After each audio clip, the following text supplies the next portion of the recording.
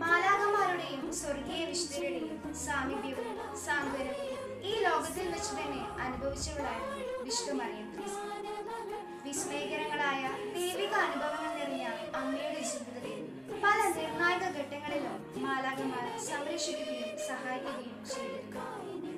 ദിവ്യകാരുടെ സ്വീകരണ വേളയിൽ ലഭിച്ച ദർശനത്തിൽ സിംഹാസനത്തിന് ചുറ്റും നിന്ന് മാലാകമാർ ഗാനങ്ങൾ ആലപിക്കുന്നതും സ്വർഗീയ ദർശനം കാണാൻ കൊണ്ടുപോയതും അമ്മ വിവരിച്ചിട്ടുണ്ട്.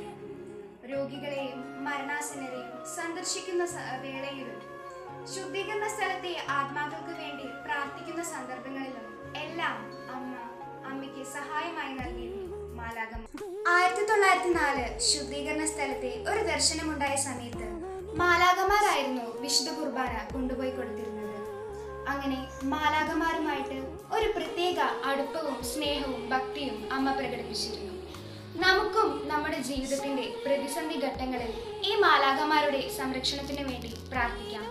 വിഷ്ണു മറിയം ത്രേസ്യമ്മ മാലാഖയോട് പ്രാർത്ഥിച്ച പ്രാർത്ഥന നമുക്കും ഏറ്റുചൊല്ലി പ്രാർത്ഥിക്കാം.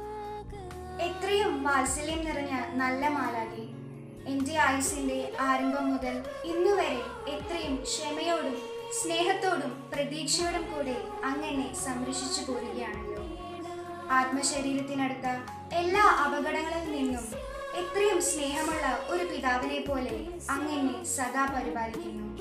അതിനാൽ എത്രയും നന്ദിയുള്ള ഹൃദയത്തോടെ ഞാൻ അങ്ങേ സ്തുതിക്കുന്നു. സ്നേഹം നിറഞ്ഞ നല്ലിടയ ഇണക്കമില്ലാത്ത ഈ ആടിനെ അങ്ങ് സ്വീകരിക്കണമേ. രക്ഷയുടെ മാർഗദർശിയായ അങ്ങൊന്ന് അശുദ്ധ കാര്യങ്ങളിൽ നിന്നും എന്നെ അകറ്റണമേ.